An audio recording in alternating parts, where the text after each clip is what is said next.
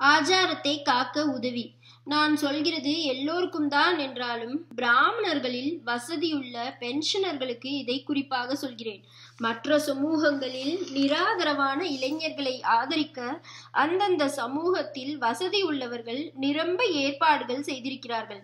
பிராமணர்களுக்கு தான் அந்த ஸ்பிரிட் இல்லை. காலேஜ் அட்மிஷன் உத்தியோகம் பெறுவது எல்லாவற்றிலுமே கம்யூனல் ஜியோ வந்த நாளாக பிராமண பசங்கள் அதிக கஷ்ட திசையில் இருக்கிற இப்போதும் அந்த சமூகத்தில் சௌகரியம் உள்ளவர்கள் இதை கவனிக்காமல் இருப்பது நியாயமில்லை. ஒரு காலத்தில் பிராமண பசங்களை காலேஜ் அட்மிஷன் அப்பாயின்மெண்ட் எல்லாவற்றிலும் சர்க்கார் கழித்து கட்டுவதை பார்த்து நான் சந்தோஷப்பட்டது கூட உண்டு. ஆமாம் சந்தோஷம்தான் பட்டேன். ஏனென்றால் இவன் தனக்கான வேத வித்யையையும் எளிய வாழ்க்கையையும் விட்டுவிட்டு பணமே குறியாக துராச்சாரத்தில் இறங்கி இருப்பதற்கு இந்த இங்கிலீஷ் படிப்பும் உத்தியோகமும் தானே காரணம். இவனாக இதுகளை விடாவிட்டாலும் மற்றவர்களும் சர்க்காரும் சேர்ந்து இவனுக்கு இதுகள் கிடையாது என்று விரட்டி அடிப்பதால் இப்போதாவது வேறு வழியில்லை. என்று அத்தியனத்துக்கு திரும்பி உள்ளதே போதும் என்று திருப்தனாக பிராமண லட்சணப்படி கிரா கிராமத்தோடு இருந்து கொண்டு சிம்பிளாக வாழ ஆரம்பிப்பான் அல்லவா என்று மனப்பால் குடித்துதான் சந்தோஷப்பட்டேன். ஆனால் நடந்தது என்ன என்றால் இவனுக்கு மேல் படிப்பில்லை. அழுக்குப்படாத உத்தியோகமில்லை என்றதும் இவன் தன் பிராச்சீன ஜீவித முறைக்கு திரும்பாமல் இன்னும் படுமோசமாக துராச்சாரத்திலேயே இறங்க ஆரம்பித்து விட்டான் சினிமாவில் சேர்வது மிலிட்டரியில் சேர்ந்து மது மாம்சாதிகளை சாப்பிடுவது ஹோட்டலில் சேர்ந்து கொஞ்சம் கூட ஆகாரம் சுத்தமில்லாமல் தின்பது என்றெல்லாம் ஆரம்பித்து விட்டான். இதை பார்த்த பின்தான் எனக்கு இவன் இதைவிட இவனை வேறு விதத்தில் இங்கிலீஷ் படிப்பும் லௌகீகமான தொழிலும் பெரும்படி பண்ணிவிட்டு அதோடு கூட தான் முடிந்த மட்டும் பிராமண தர்மங்களை அனுஷ்டிக்க செய்ய வேண்டும் என்று தோன்றியிருக்கிறது. இதில் தான் பென்ஷனர்களின் சகாயத்தை கேட்கிறேன். முதலில் பிராமணன் தலையில் கை வைத்தது பரவி பரவி இப்போது ஃபார்வர்ட் கம்யூனிட்டிஸ் என்று பெயர் வைக்கப்பட்ட செட்டிமார் முதலியார் பிள்ளைமார் என்று ஒவ்வொரு சமூகமாக காலேஜ் அட்மிஷன் சர்க்கார் உத்தியோகம் எல்லாவற்றிலும் பின்னால் தள்ளப்படுவதில் முடிந்திருக்கிறபடியால் இவர்கள் எல்லாரும் எதிர்கால தலைமுறைகள் விஷயத்தில் விழிப்போடு ஏற்பாடு செய்ய வேண்டும். பின்தங்கிய வகுப்பினர் என்பவர்களுக்கும் நம்மாலான சகல உபகாரமும் செய்யத்தான் வேண்டும்.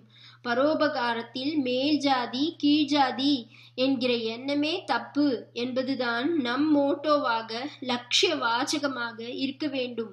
ஆயினும் இந்த படிப்பு உத்தியோகம் ஆகிய விஷயங்களில் சில வகுப்பாருக்கு உரியதையும் புறக்கணித்து சர்க்காரே பிற்பட்ட வகுப்பாருக்கு அதிகப்படி சலுகை காட்டுவதால் தான் இந்த விஷயத்தில் மட்டும் நான் கொஞ்சம் கம்யூனல் ஃபேசிஸில் வகு கம்யூனல் பேசிஸில் வகுப்பு அடிப்படையில் பேசியாக வேண்டியிருக்கிறது.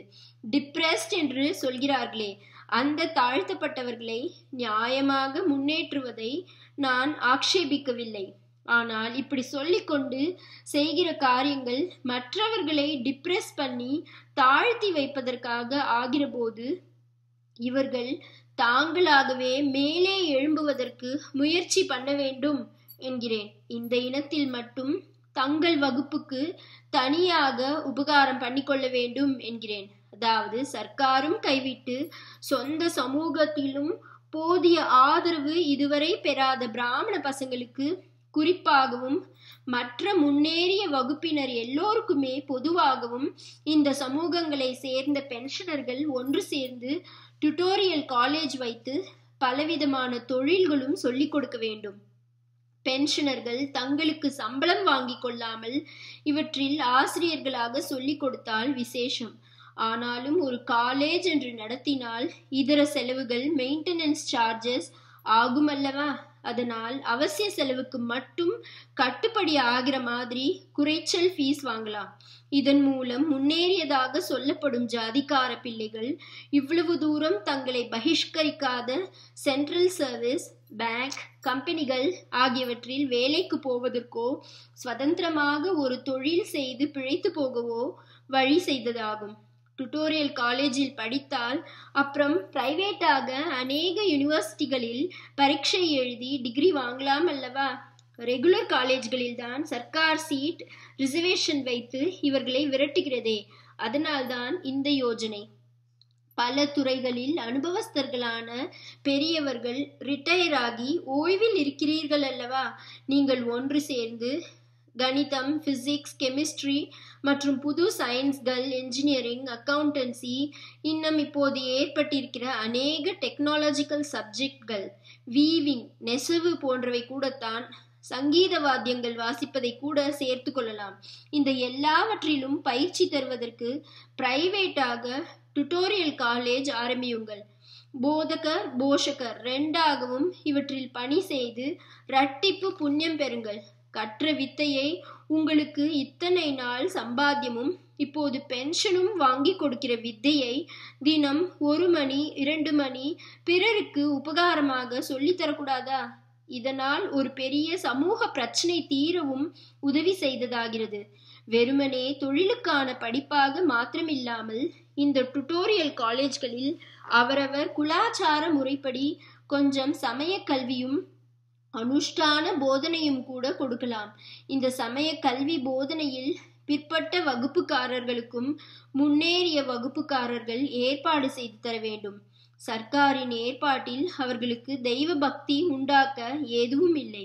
அது மட்டுமில்லாமல் அவர்களுக்காக போராடுவதாக சொல்லிக்கொள்கிற நாஸ்திக கட்சிகளின் வலையிலும் அவர்கள் விழப்பார்க்கிறார்கள்.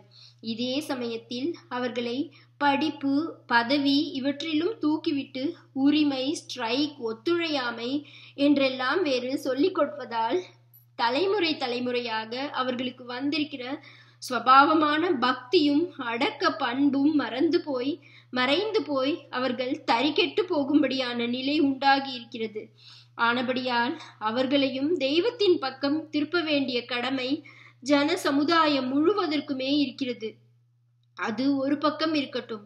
இங்கே என்ன சொன்னேன் என்றால் சம வாய்ப்பு இழந்து விட்டவர்களுக்காக வைக்கிற டுட்டோரியல் காலேஜ்களில் அவரவர் குலாச்சாரப்படி சமய கல்வி அனுஷ்டானங்களையும் போதிக்கலாம் என்பது. இப்போது லோகம் இருக்கிற இருப்பில் இதை கம்பல்சரியாக பண்ணினால் இம்மாதிரி காலேஜில் சேர வருகிறவர்களே குறைந்து போய்விடுவார்களோ என்று பயமாயிருக்கிறது. ஆனபடியால் இதை ஆப்ஷனலாக வைக்கலாம்.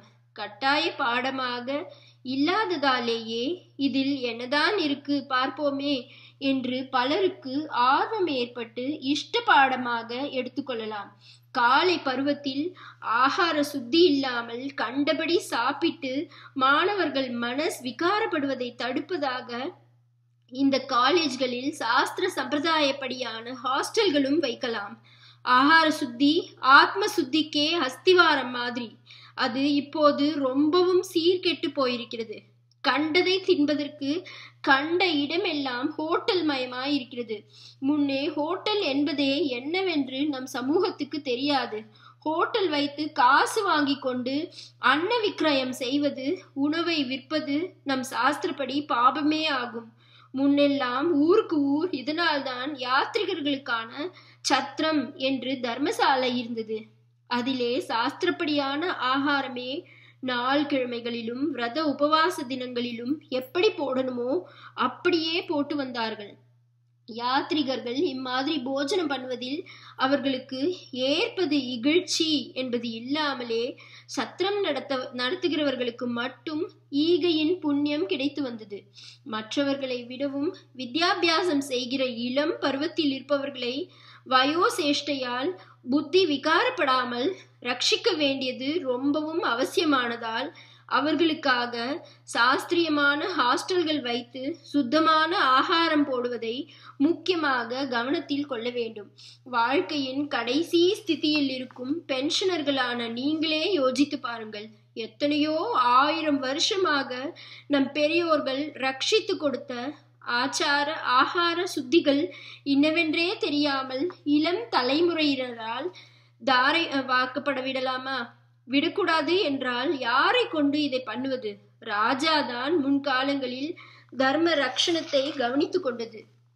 ஆனால் இப்போதுள்ள சர்க்காரை கொண்டு ஆச்சார அபிவிருத்திக்கு ரூல் போட பண்ண நினைப்பதே பரிகாசம் அல்லவா நேராக இந்த ஆச்சாரங்களை தாங்களே நாசம் பண்ணுவதோ அல்லது பிறர் நாசம் பண்ணும்போதாவது ஆஹா என்று வேடிக்கை பார்த்து கொண்டு இருப்பதோதான் நம் தேசத்தில் முற்போக்குக்காரர்களின் கொள்கையாக இருக்கிறது.